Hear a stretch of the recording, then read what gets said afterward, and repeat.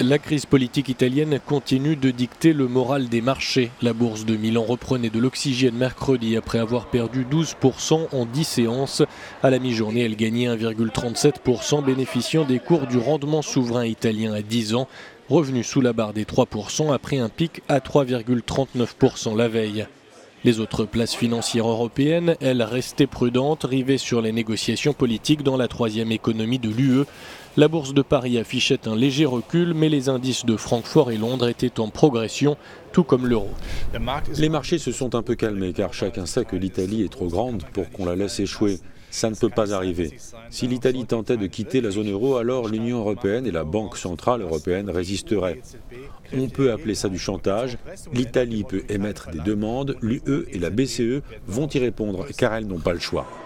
À Tokyo, le Nikkei avait fini la journée de mardi sur un repli d'1,52% dans le sillon de la bourse de New York, attendu en hausse à l'ouverture mercredi.